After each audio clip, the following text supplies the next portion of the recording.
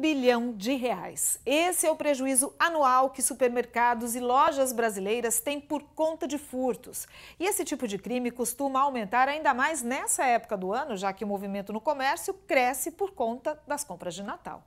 O gerente deste supermercado em Araçatuba já perdeu as contas do número de furtos que aconteceram por aqui. Qualquer estabelecimento, cada, cada segmento tem suas particularidades, mas supermercado em si, ele, ele fica mais vulnerável, né? Pelo tamanho da loja, por ter vários corredores, né?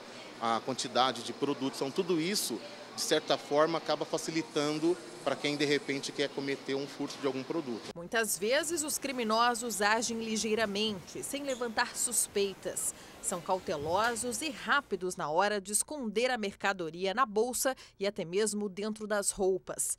Mas essas ocorrências não são nada boas para os estabelecimentos varejistas como um todo. Dados do Instituto Brasileiro de Executivos de Varejo e Mercado de Consumo mostram que esses crimes provocam um prejuízo que supera um bilhão de reais do faturamento das lojas. É um prejuízo para o lojista e é um prejuízo para o consumidor porque os produtos às vezes acabam tendo um pouco de aumento para que no final do mês seja compensado esses, entre aspas, pequenos furtos que acontecem diariamente no nosso comércio. Na média brasileira, ainda de acordo com o estudo, os grandes alvos dos furtos internos e externos nos supermercados são os doces, as bebidas e as carnes.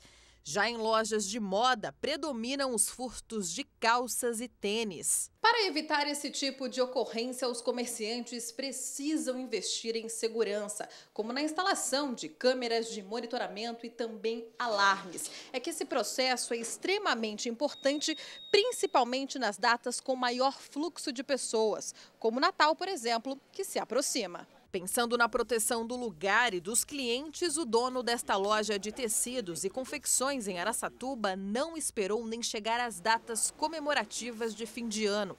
Por aqui, mais de 30 câmeras já foram instaladas. A gente tem as câmeras para monitorar para a nossa segurança e para o meu cliente também, porque o cliente está dentro da loja, eu tenho que oferecer segurança para ele também. Melhor prevenir do que remediar? Sim, sem dúvida, né? Prevenir.